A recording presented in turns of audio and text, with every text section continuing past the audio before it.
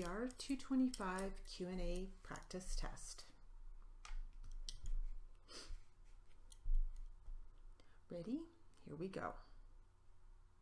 What code numbers were put on the fired cartridge case? May I refer to my notes? Will that refresh your memory? Yes. Do you want me to go down the list for each one? Just for the 9 millimeter fired cartridge case. So the 9 millimeter fired cartridge case was assigned barcode 12420025547. Okay, also during that search, did you find a gun in a holster?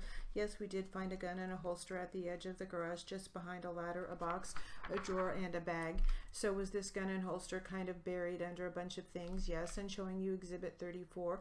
What is shown in Exhibit 34? Exhibit 34 is the STAR 9mm semi-automatic gun, and this is a holster. Okay, both of those are in the photo, yes, and what was done with the holster? Did you package it in some way? Yes, I brought it back to the lab, and what was the barcode number that was given to it? 12420025545. And the gun itself, that was a star 9 millimeter. Yes, and was that given a barcode number? Yes, its barcode was 12420025543 and there was a serial number on that gun, right? Yes, there was. What was that serial number? 1771109. Was there an item along with the ammunition magazine? Yes, there was an ammunition magazine. Okay, where was that? It was in the gun. Did you separate that? Yes. And was that given its own separate barcode number? Yes, it was given barcode 12420025544. Now later on, did you swab any portion of the gun? Yes. I fingerprinted the gun and it was negative for fingerprints, so then I swabbed it for touch DNA. Okay, how many different swabs were there? Well, overall, I took five, four swabs from the gun, and then the control samples for the water and the clean powder that I used to process the gun. Focusing on the swabs of the gun itself, did you do a swab of the handle and grip of the gun? Yes, and was that given its own item number? Yes, that was given item F1A. Was there an F1B? Yes. What was that? That was a swab of the trigger guard. Was there an F1C? Yes, F1C were swabs of the frame and the slide and the barrel. Were those three items all given the same barcode? Yes. Okay, what barcode was given? 12420025550. Was there an item F1D? Yes, F1D were swabs of the hammer, the safety latch, and the slide latch. Now, what is involved in doing a DNA swab of a gun?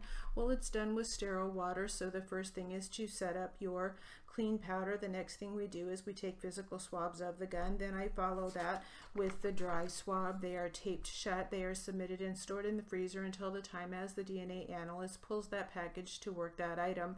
You yourself don't analyze it for DNA. No, sir, I don't. Also that day, May 13th, during that search, did you receive from Sergeant Terran some bags of something? Yes, I received bags of clothing. Okay. And was there a label that ended up being attached to it, to the bag of clothes? Let me put Exhibit 39 on the screen. Is this something you recognize? Yes, that's my writing and I see there's a date. There's a date and time, right? And I see a number like 0712022981.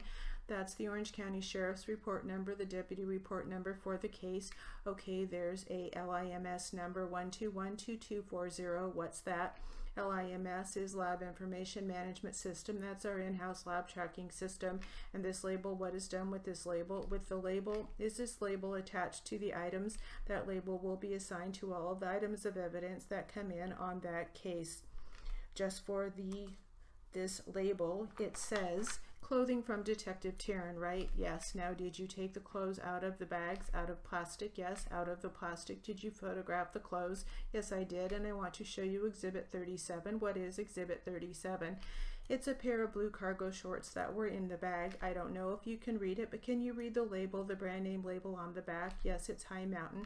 And you took this photo. Yes, I did. This was a pair of clothes that was in the bag, right?